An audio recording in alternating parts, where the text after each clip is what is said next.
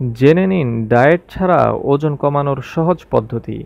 ওজন কমানোর জন্যে জিমে গিয়ে ব্যায়াম করা এবং কঠোর খাদ্যাভ্যাস মেনে চলাটা একটু কঠিনই বটে।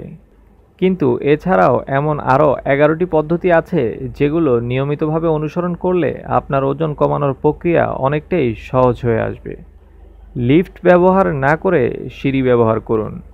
এতে শুধু আপনার পায়ের মাংসপেশি শক্ত হবে না, বরং প্রতিদিন মাত্র কয়েক মিনিট সিঁড়ি ভাঙলেই অল্প কয়েক সপ্তাহ পরেই আপনি এর ফল দেখতে পাবেন। আপনি যদি খুব বেশি ওপরে থাকেন, তাহলে প্রতিদিন লিফট ছাড়াই অন্তত কয়েকটি বার সিঁড়ি বেয়ে উঠুন। এরপর লিফট ব্যবহার করুন। বাসায় খাবার রান্না করুন। দুটি কারণে বাসায় খাবার রান্না করা আপনার ওজন কমানোর লক্ষ্য হিসেবে সহায়ক হবে।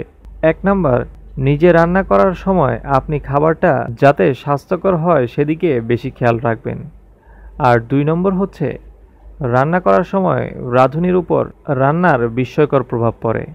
যেমন, খাবার খাওয়ার আগে রাঁধুনির মধ্যে এক ধরনের খাবার খাওয়ার পূর্ণতা বা সন্তুষ্টি কাজ করে। ফলে পরে আর আপনি বেশি খাবার খাবেন না, যা ওজন নিয়ন্ত্রণে সহায়ক হবে। স্যুপ পান করুন।